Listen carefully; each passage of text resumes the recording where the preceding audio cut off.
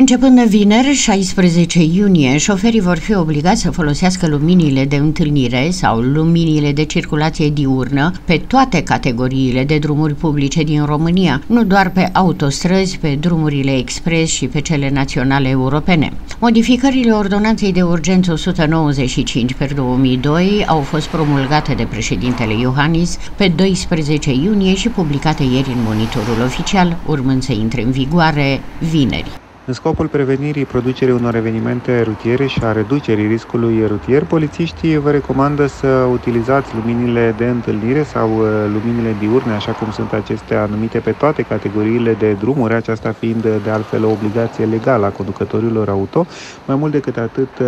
vă adresează recomandarea de a rula cu viteză redusă adaptată condițiilor meteorutiere și a păstra o distanță suficientă în mers față de vehiculul care rulează în față, astfel încât să aveți posibilitatea capacitatea de a opri în siguranță atunci când apare un potențial pericol. Nerespectarea noii modificări a codului rutier atrage după sine și amenzi și două puncte de penalizare.